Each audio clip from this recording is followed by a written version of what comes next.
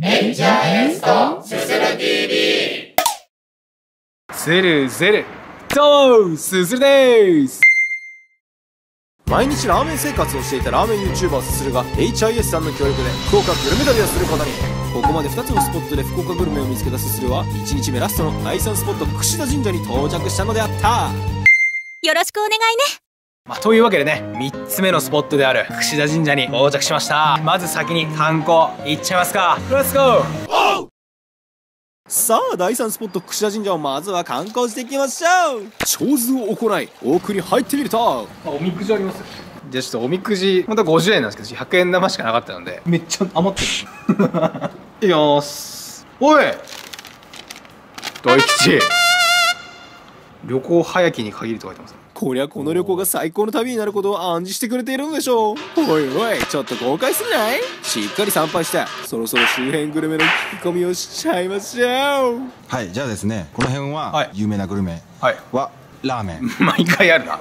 そしてあと洋食屋さん。おお洋食はもう大好きですよ俺は。とあと焼きまんじゅうっていうの。焼きまんじゅうは手頃でいいかもしれないですね。じゃあ行きましょうか。行ってみましょう。はい。あの福岡の地元の方ですか、おおすぐに神社で地元の方に出会うことができました。さすが縁結びの神様。早速ご利益いただいちゃいます。須田神社の近くに、今の時間からでも食べられるような,、なんか美味しいお店とか。どっから来はったの東京です。東京です。へえラーメンを？あそうです。基本的にはラーメンを食べてるんですけど。そこにね大きな公園が東京から来ましたって言ったら歓迎してもらえると思う。へー。わかりました。もうすぐそこすぐそこすぐそこで。公園やから。あ本当公園で。あはい。わかりました。すいませんありがとう。ございはいはい。ますすいませんありがとうございますというわけで周辺グルメは聞けませんでしたが近くに人がたくさんいる公園を教えてもらったのでそこに移動しましょう。さあ改めて聞き込み開始です。あの僕あの今いろいろ福岡を今観光してましてここの近辺でちょっと美味しいものとかってあったら紹介していただきたいと。ああもう大丈夫あそれから鉄鍋やったらいい？よ鉄鍋って調べれば出てくるあ出る出る。鉄鍋餃子の鉄鍋。下多いけどね。あ本当ですか？ありがとうございます。またちゃんと案内せねえかも。ありがとうございます期待しとるはい、まあ、というわけでね先ほどあちらの公園でね紹介していただいた鉄鍋というお店に来たので早速行っちゃいますか。レッツゴーさあおすすめしていただいた博多祇園鉄鍋さん。かなり混み合っている人気のお店ですね。まずはこのお店の大人気メニュー焼き餃子と今日の疲れを吹き飛ばすノンアルコールビール頼んじゃいましょう。キンキンに冷えたグラスに注いだら早速乾杯ポテサラと手羽先をはいはいお願い。しますもう注文して待っていると。来ました。まずはこちらが博多祇園鉄鍋さんのポテトサラダと手羽先にです。うんうん。安心するシンプルな見た目。程よいブラックペッパーが見えるポテトと濃い飴色の甘い香りがする手羽先。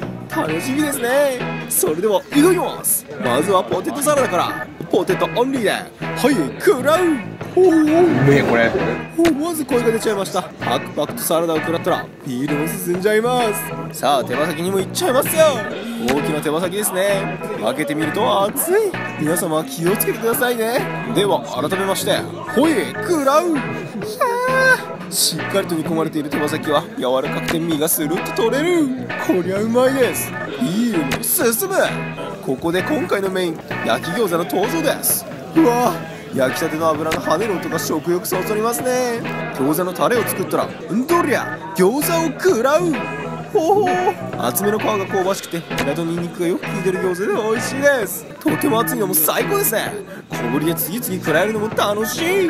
さあポテサラ食らって手羽先食べたらここで味変にいっちゃいましょう。卓上に置いてある辛味をドン。さらにドン。柚子胡椒も入れちゃいますよ。しっかりとタレと混ぜたらおっしゃ食らううわい。柚子胡椒のパンチが餃子をいい感じにブーストしてくれてさらに辛みが刺激をくれてうまさが上がりますよ。あっという間にもうラスト1つになっちゃいました。楽しい今日が終わってしまうのは寂しいですがしっかりと食らってポテサラもビールも飲んだら本日も完食。大変美味しく食べられました。東京から来て1日目の締めくくりに大人気の餃子しっかり堪能させていただきました。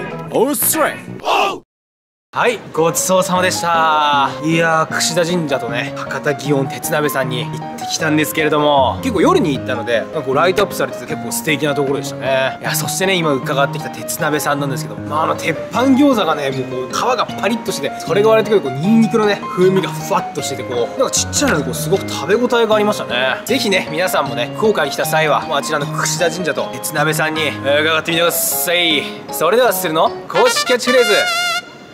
串田神社さん博多の鉄板やはいというわけでね、これで1日目も終わったということで、明日からもね、またいっぱい観光地もあって、たくさん美味しいもの食べていきたいと思います。じゃあ早速ね、最初の博多駅でグルメスポット、聞きに行っちゃいますか。いや、まあこの時期のね、小倉城は結構桜も綺麗に咲いてるみたいで、爪のスポットである櫛田神社に到着しました。明日からもね、またいっぱい観光地もあって、たくさん食べていきたいと思います。おやすみなさい。お疲れ様でした。なんとか第3スポット櫛田神社でも無事グルメにありつけたすする。餃子パワーで元気をもらってなんと福岡2日目は海。果たしてすするは船に乗ってどこに行くのか。次回瞬間のこの島重ねて。この次もすするすする